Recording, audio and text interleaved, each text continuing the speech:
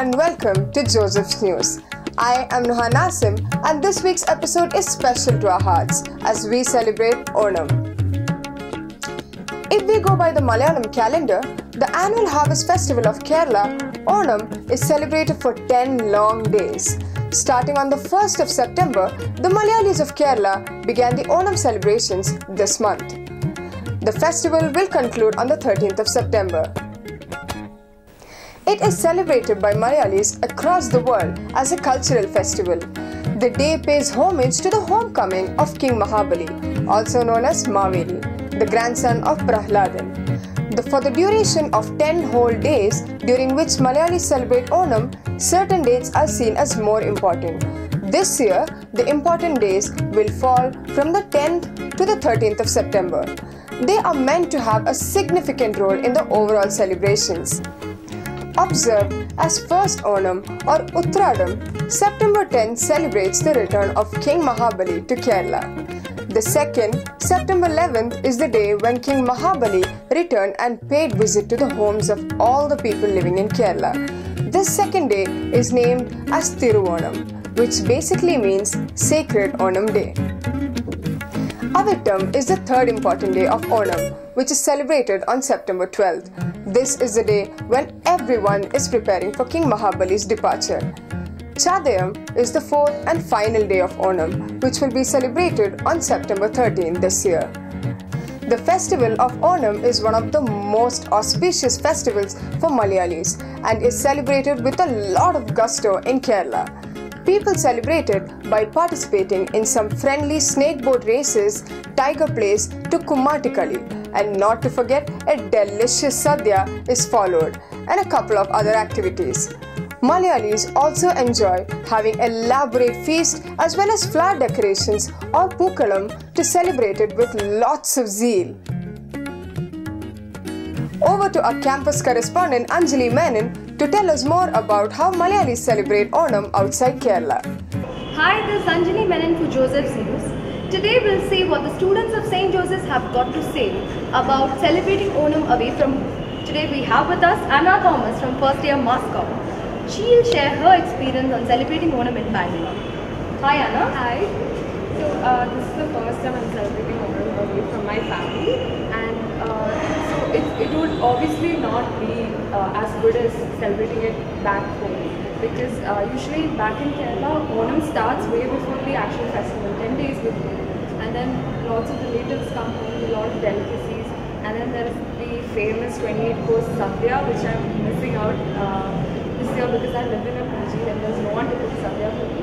So I'll probably order sadhya from Swiggy but it'll obviously not match up to what my mother makes and then uh, the traditional games and everything and the uh, art of uh, making pookalam, all that I'm missing out on everything this year. But somehow I think I'll celebrate Onam with my friends and I hope it will be as good as what I did celebrate last year. So now we are in conversation with Ananya Mariam of first year Mass Com.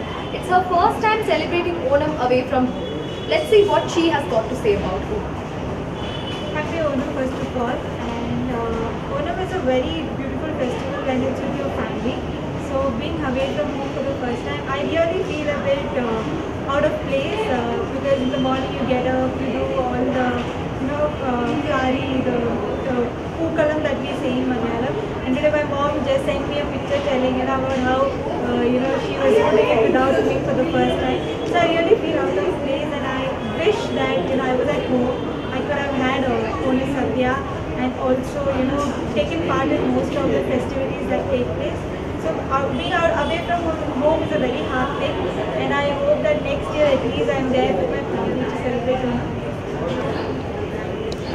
So now we are in conversation with Shruti Sunil, first year Big Data. Let's see what she has to say about Onam.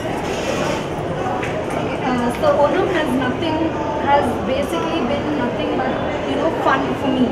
Uh, growing up here, I've not really celebrated Onam in Kerala. So I've I've had all of my cousins, uncles, aunts, all of them meeting up in one place, and we have the general pookalam. We have the general pookalam that we all put up in front of our houses.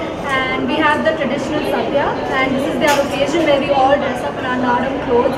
We have the Mundu Veshti and the men wear the Mundu and it's basically just a festival where all of us get together and um, I don't know, I have been told from my childhood that we have King Mahabali coming in to our houses probably during the afternoons or evenings and he comes and he blesses us and that's how our occasion usually goes.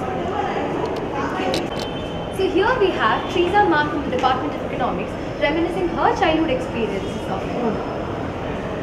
Hello. Uh, Onam was always, uh, you know, a pleasant memory back home. You know, to spend with my cousins and neighbors.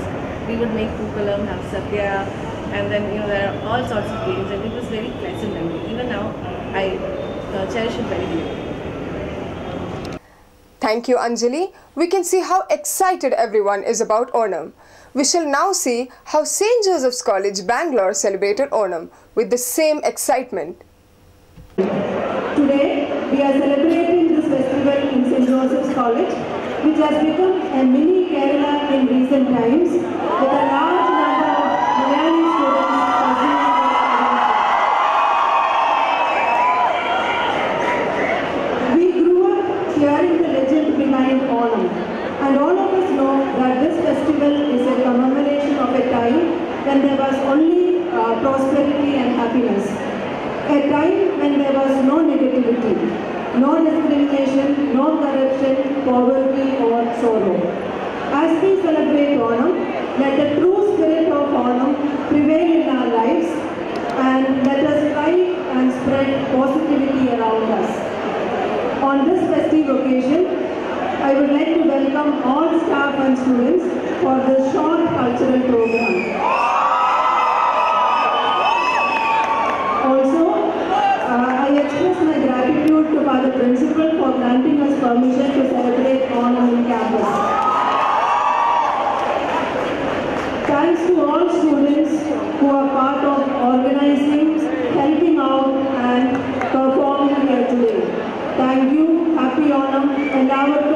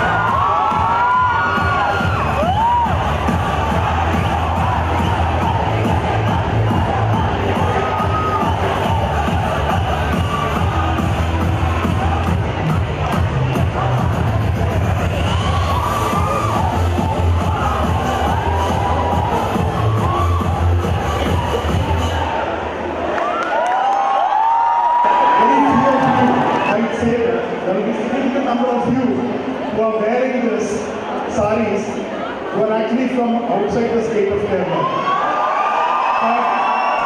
That is the peculiarity of this festival. It is an inclusive festival where everybody is welcome to join in these festivities. There is no class, community or caste or creed while celebrating this festival.